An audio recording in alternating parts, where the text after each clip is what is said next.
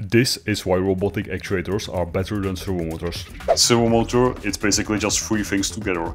It's a DC motor, you apply voltage to the motor and it spins. Since it spins so fast, you need a gearbox to reduce the speed. This also increases the torque. To control the position of the servo arm, you need some type of controller. Usually these servo motors use PID. It's simple, but you only get position control and it's not backdrivable.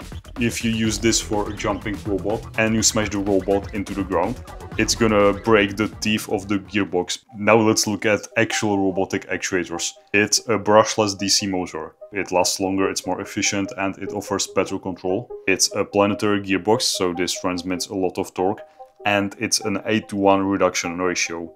This is a very low ratio, which is why this actuator is called quasi-direct drive. With this low reduction, the robot can dampen impact much better, so if the robot just smashes to the ground, it's gonna dissipate the energy through the motor. And my actuator is gonna have a field-oriented controller, which is gonna offer me to control position, velocity and torque.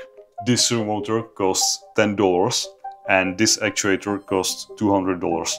It's 20 times more expensive and that's why I'm gonna use only 4 of these. Full video on my Tazer Engineering YouTube channel.